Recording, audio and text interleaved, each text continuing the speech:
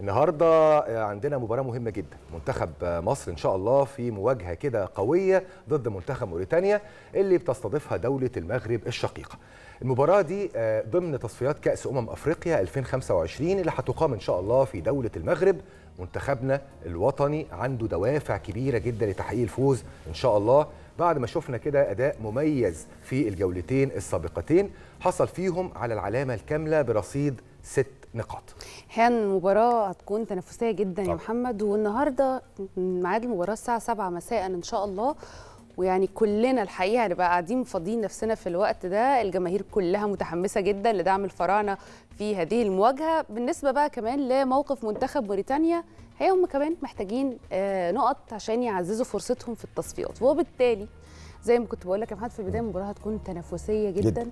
وهيكون أجواءها كده مش مش سهلة لأنه يعني في ناس بتبقى عندها اعتقاد إنه منتخب موريتانيا من المنتخبات اللي ممكن تكون ضعيفة شوية صحيح. لكن بالعكس هو من المنتخبات المحترمة جدا وعنده سكواد جيد جدا وبيقدم كمان كورة كويسة يا محمد فعلا جمانة الكرة الأفريقية الفترة اللي فاتت بتقدم لنا مفاجآت يعني في فرق بتبقى حقيقي. يبدو إنها كده فرق ضعيفة لكنها ب ب يعني ب بتنافس بقوة وبتقدم أداء كمان قوي جدا. مش بس موريتانيا في فرق كتيرة جدا شفنا أدائها الفترة اللي فاتت.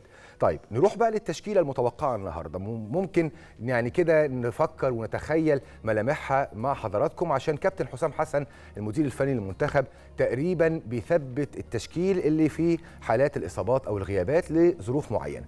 عموما التشكيلة مش هتخرج عن نفس التشكيلة اللي لعب بيها في المباريات اللي فاتت.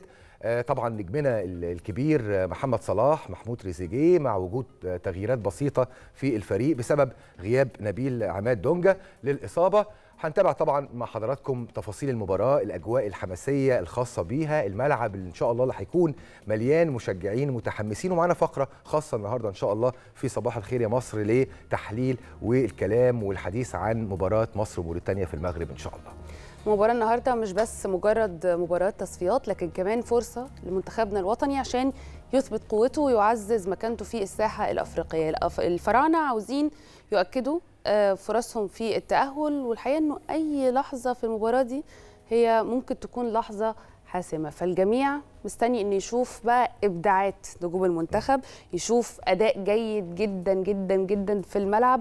وفي نفس الوقت لازم اللاعبين طول الوقت يكونوا حريصين إن هم يقدموا أفضل أداء عندهم أفضل ما عندهم عشان بيشرفوا كمان مصر ويرفعوا الحقيقة يعني كده راسنا. إحنا يعني أملنا كبيرة جدا في منتخبنا الوطني إن شاء الله ودعواتنا وقلوبنا يعني مع منتخبنا الوطني. مرة تانية بنصبح على حضراتكم صباح الخير والسعادة وصباح الخير يا مصر.